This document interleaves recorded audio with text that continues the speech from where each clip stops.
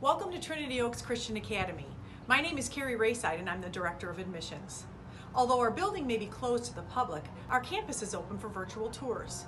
I would love the opportunity to take you for a tour around our campus and allow you a peek into some of our classrooms so you can get a feel of what sets Trinity Oaks apart in academic excellence and biblical worldview for students preschool all the way through high school. Register for a virtual campus tour today. I look forward to meeting you soon.